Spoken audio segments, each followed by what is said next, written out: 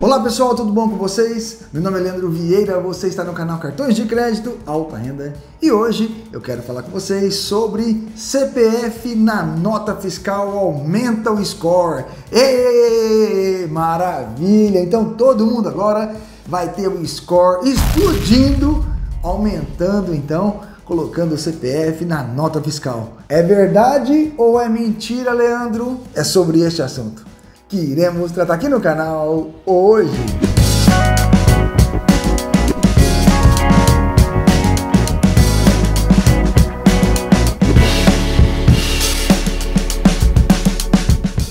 Meus amigos, minhas amigas, esta pergunta não para de chegar praticamente todos os dias no canal.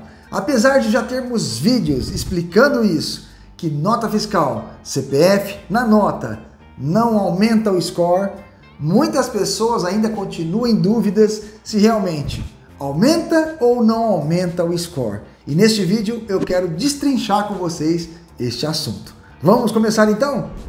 Pois bem, imaginem vocês comprando um produto como este, um tablet, em uma loja de departamento da sua cidade. E na hora de você pagar, o atendente, o operador de caixa vai perguntar para você: à vista ou parcelado? Vamos supor que você diga à vista. Você vai pagar no débito à vista. Ok, débito à vista e eu quero colocar o meu CPF na nota. Ok, débito à vista, pagou no cartão de débito e usou o CPF na nota fiscal. Mediante a isso, o sistema envia para a Receita as informações daquela nota fiscal daquele estabelecimento.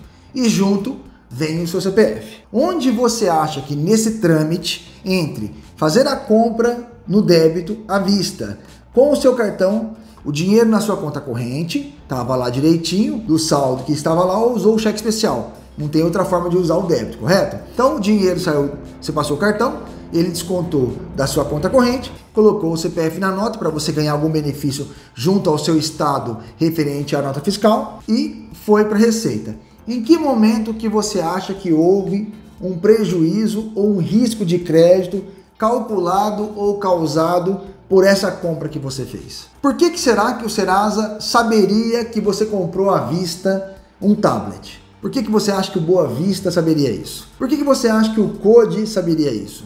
E por que, que o SPC Brasil deveria saber disso? Isso chama-se violação de dados. Ou seja, se eu estou comprando à vista e as informações são transmitidas para os birôs de crédito, teoricamente eu estou sendo controlado, eu estou sendo vigiado. E não é isso que acontece. Vocês podem ter certeza absoluta que esta compra que você fez à vista, colocando o CPF na nota fiscal, não gerou nenhum risco de crédito, não gerou nenhuma informação para os birôs. Portanto, você não tem aumento de score em hipótese alguma referente a esta compra. Vamos para o segundo caso. Imagine o um cliente comprando este aparelho de celular e quando ele foi comprar na loja, o atendente perguntou para ele: "Você vai passar no crediário com o seu cartão? Vai comprar no parcelado com o seu cartão de crédito? Em quantas vezes?" E aí o atendente faz essa pergunta para o cliente e o cliente então responde: eu vou pagar em 12 vezes sem juros no cartão de crédito. Muito bem. Passei o cartão de crédito naquela maquininha, na transação TF eletrônica, e houve então a movimentação da minha conta do cartão de crédito para aquele estabelecimento, ok? A administradora do meu cartão, junto à maquininha, houve então a operação concluída com sucesso, a transmissão foi feita, então o banco recebeu a notificação de compra realizada. Feito isso, onde que vocês acham que o Serasa é envolvido nisso? Serasa, Boa Vista, Code, SPC Brasil. Por que os birôs saberiam que eu passei um cartão de crédito naquele estabelecimento, então feito a minha compra é, no cartão de crédito? Qual foi o risco que eu causei ou que eu poderia trazer para a instituição usando esta compra, de forma que o Serasa Boa Vista Code e SPC Brasil deveria aumentar o meu score ou diminuir o score por isso? Vocês se perguntam. Não gera pontos e score nenhum para vocês fazendo isso. Uma porque você está comprando no cartão de crédito. Quando você fez a avaliação de ter o cartão de crédito, você já foi consultado pelas birôs, pela instituição financeira que te aprovou crédito. Na compra que você está fazendo, não existe consulta de crédito quando você passa o cartão para poder pontuar ou não o seu score. Neste caso, também não existe nenhuma pontuação para vocês referente ao score na nota fiscal. Ou seja, se a pessoa teve o score alterado baseado nas compras que ele vem fazendo no cartão de crédito, isso não tem nada a ver com compras através de nota fiscal no CPF, e sim baseado ao comportamento do risco de mercado.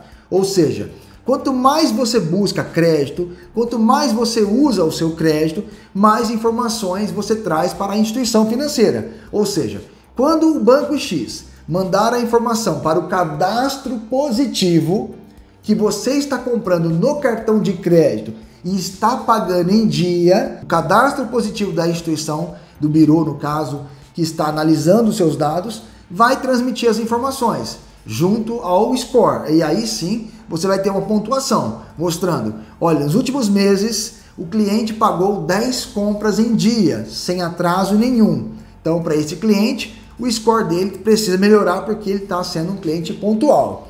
Nos últimos meses, o cliente não teve consultas de crédito, ou seja, ele não busca por crédito na praça. Isso significa que ele deve estar com a saúde financeira mais controlada. Nos últimos dias, nos últimos meses, o cliente não foi negativado no SPC. Isso mostra que a saúde financeira dele vem sendo controlada. Nos últimos dias, nos últimos meses, este cliente não usou cheque especial, não busca por crédito na praça. Isso demonstra que ele está, teoricamente, com a saúde financeira controlada.